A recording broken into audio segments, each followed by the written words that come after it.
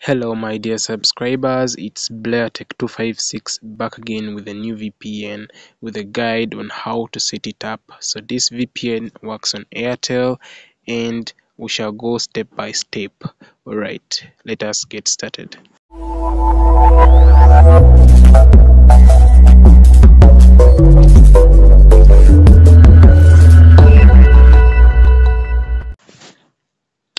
So this VPN is called EW Tunnel VPN right here.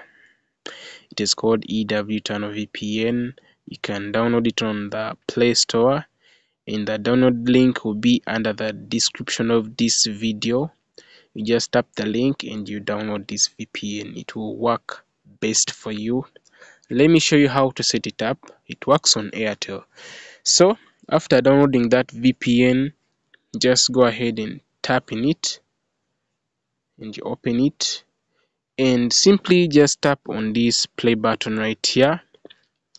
You tap play and remember to add time from here okay?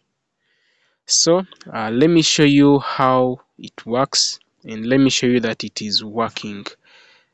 I've opened up my Google Chrome and as you can see Google has opened up and even as you can see up there my WhatsApp is working. And let us test it on YouTube and see. As you can see even on YouTube it is working it is loading. Let us wait for it to refresh the pages. Okay.